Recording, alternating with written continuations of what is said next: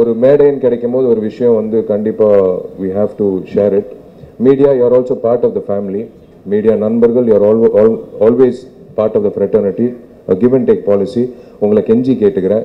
தயவு செய்து இந்த ரிவ்யூ வந்து ஒரு மூணு நாட்கள் கழிச்சு போடுங்க.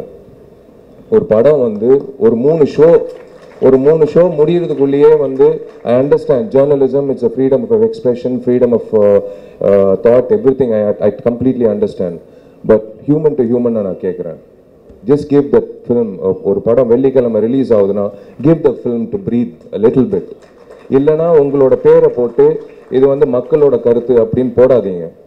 இது வந்து நீங்கள் தனிப்பட்ட I'm not talking of course definitely the newspapers எல்லோருக்கும் வந்து அந்த ரெஸ்பான்சிபிலிட்டி இருக்குது ஐ அண்டர்ஸ்டாண்ட் தட் ஸ்டார் போடுவாங்க கீழே பேர் போடுவாங்க எல்லாமே ஒத்துக்கிறேன். But certain people certain so call ஜேர்னலிஸ்ட்ன்ட்டு சில பேர் வந்து சோஷியல் மீடியாவில் இருக்கும்போது they are literally ripping films apart but yes I agree that is your point of view but do it after three days or do it on the fourth day முதல் நாள்லேயே வந்து நீங்கள் மூணாவது காட்சியில் வந்து உங்களோட கருத்தை திணிச்சு ஏதோ வந்து தமிழ்நாட்டு மக்களே வந்து அந்த கருத்து ஆதரிக்கிறாங்கன்ற மாதிரி போடுறீங்க.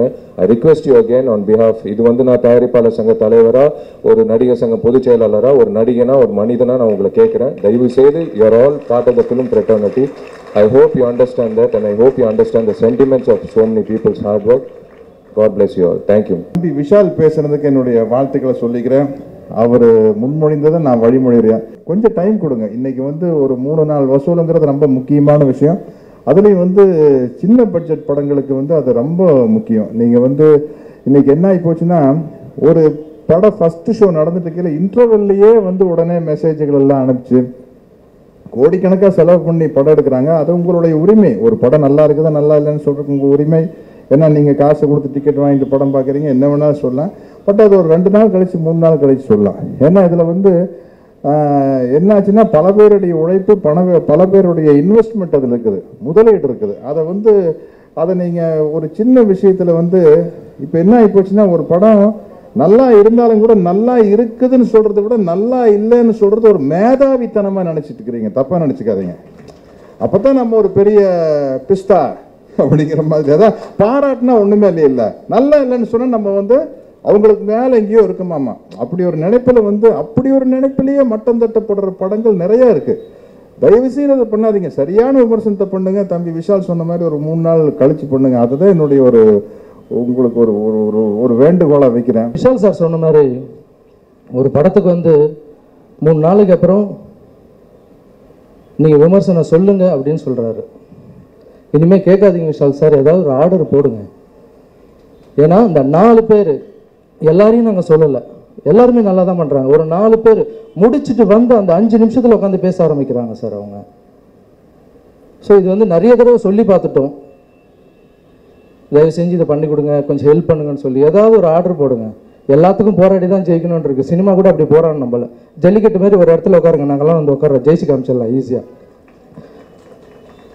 இல்லை சார் ரொம்ப வலிக்குது சார் நிஜமாக சொல்கிறேன் ஒரு வார்த்தை கூட தப்பாச்சுன்னா ஏன்னா மீடியா சொல்கிறது தான் வந்து வெளியே வந்து நம்புகிறாங்க ஒரு கிராமத்தில் இருக்கவங்க என்ன நம்புகிறாங்க ஓ இது வந்து சொல்கிறாங்க மீடியாவில் சொல்கிறாங்க எஸ் கரெக்டுன்னு அப்படி நம்புகிறாங்க ஸோ ரொம்ப கஷ்டமாக இருக்குது சார். என்னுடைய படம் ரிலீஸ் ஆகும்போது கூட நான் நிறைய பேசலை. சின்ன சின்ன படத்துக்கு கூட நீங்கள் ரிவ்யூ வந்து ரொம்ப சீக்கிரமாக சொல்லிடுறீங்க. ஸோ அதுக்கு ஒரு நடிகர் சங்கமும் சரி தயாரிப்பாளர் சங்கமும் சீக்கிரமாக ஒரு முடிவு எடுத்து ஒரு ஆர்டர் போடுங்க. எஸ் இந்த டைம்லேருந்து இந்த டைமில் தான் நீங்கள் சொல்லணும். அப்படி சொல்கிறவங்க மேலே நடவடிக்கை எடுக்கணும்னு ஒரு ஆர்டர் போடுங்க சார். அதுக்கு நீங்கள் என்ன பண்ணுறீங்களோ உங்கள் பின்னாடி சி- சினிமா உலகமே இருக்கும். அந்த விமர்சனங்கள்லாம் பா சொல்கிறாங்க படம் பார்த்துக்கிட்டு இருக்கும்போது பத்து நிமிஷத்தில் படம் மொக்கடான்னு டைப் பண்ணுறாங்க அப்புறம் படம் வந்து அன்னைக்கு ஈவினிங்கே பாதி படம் போயிட்டு இருக்கும்போது காரில் வந்து உட்காந்து ரிவ்யூ சொல்கிறான் காரில் வந்து உட்காந்து இன்டர்வல் வரைக்கும் தான் அவன் படமே பார்த்துருக்கான். காரில் வந்து உட்காந்துட்டு பார்த்துட்டு இருக்கேன் வச்சுட்டு இருக்கேன் பார்த்துருக்கேன் மறுபடியும் பில் அடிச்சிட்டாங்க நான் உள்ளே போகிறேன் படம் பார்க்க போகிறேன் மீதி என்னன்றதை நான் வந்து சொல்கிறேன் பாய் பாய் அப்படின்னு சொல்லிட்டு போகிறேன் என்ன இது ரிவியூவா இதுவா விமர்சனம் ஒரு படத்துக்கு. எத்தனை கோடிகள் போட்டு ஒரு தயாரிப்பாளர் படம் எடுக்கிறார் தெரியுமா? எத்தனை ஆயிரம் பேர் அந்த படத்தில் வேலை செய்கிறாங்க தெரியுமா? அந்த படத்தினால் பல ஆயிரம் குடும்பங்கள் உணவு அடுப்பு எரியுது உணவு உணுக்கிட்டு தெரியுமா? கொஞ்சம் அதை புரிந்து கொண்டு படத்தை ஒரு மூணு நாள் நாலு நாள் அஞ்சு நான் சொல்கிறேன் அன்னைக்கிளின்ற படம் ரெண்டாவது வாரம் தான் பிக்கப்பு. அன்னைக்கிளி ஆயிரத்தி தொள்ளாயிரத்தி எழுபதுகளில் வந்த அன்னைக்கிளி. அன்னைக்கு இந்த மாதிரி மீடியா இருந்து கிளி கிளின்னு கிழிச்சு போட்டிருந்தீங்கன்னா நமக்கு இளையராஜான்ற ஒரு மகா இசை மேதை கிடைச்சிருக்க மாட்டாங்க.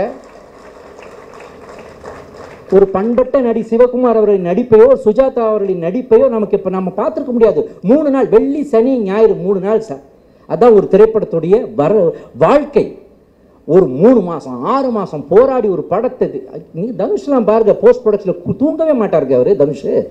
அந்த படத்தை முடிக்கிற வரைக்கும் பைத்தியம் பிடிச்ச மாதிரி அதே வேலையாக இருக்கிறார். அதுவும் விமர்சனம் பேசுகிற டோன் ஒன்று இருக்குது சார். தானு சார் உங்ககிட்ட தான் சொல்கிறேன் அது விமர்சனம் பண்ணிக்கின்ற ஒரு டோன் இருக்கு. அந்த டோனில் வந்து ஒரு க- ஒரு கண்ணியம் இருக்கணும். ஒரு கண்ணியம் இருக்கணும். அந்த விமர்சனம் பண்ணுற டோனில் ஒரு கண்ணியம் இருக்கணும்.